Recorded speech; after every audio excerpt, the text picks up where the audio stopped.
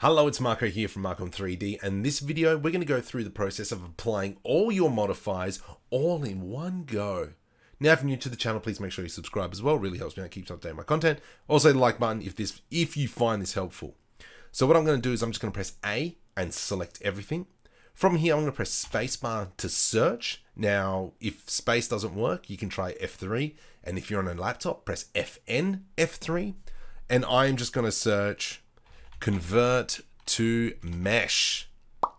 And now everything, all so all the objects have applied the modifiers. Now something to be wary of, that I've got a character here. This character will no longer be controlled by this armature because obviously I've applied the modifier.